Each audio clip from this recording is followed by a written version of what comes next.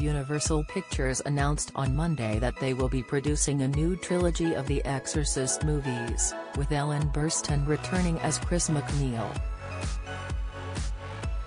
The movies, the first of which is set for release in October 2023, will be a continuation of the original, though there was no mention of Linda Blair, who played Chris MacNeil's possessed 12-year-old daughter Regan in the horror classic.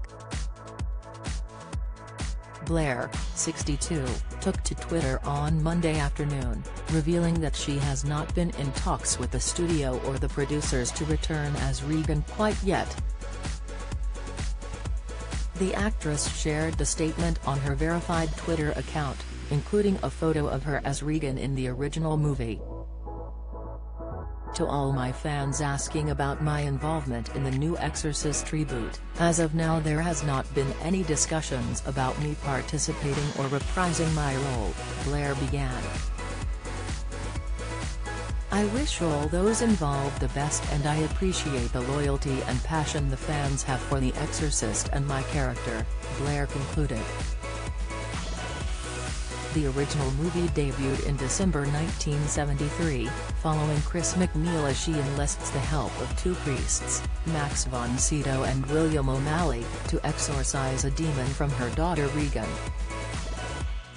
William Friedkin, The French Connection, directed the original, with The Exorcist author William Peter Blatty writing the screenplay adaptation based on his book.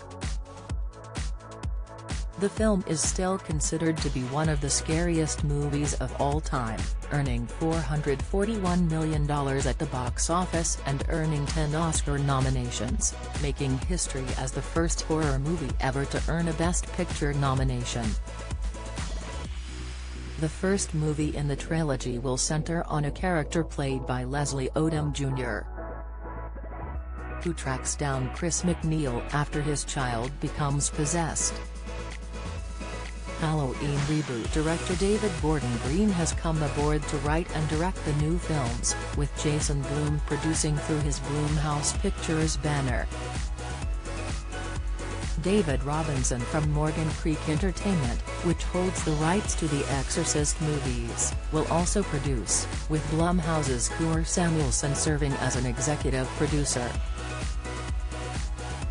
Universal will reportedly spend upwards of $400 million on this new Exorcist trilogy, with the first film slated to debut on October 13, 2023, just months ahead of the film's 50th anniversary. The next two films will reportedly skip a theatrical release altogether and debut on the Universal-owned Peacock streaming service. Blair most recently voiced several characters in J.J. Villard's fairy tales and shall next be seen in Landfill with Michael Dudikoff and Christine Elise.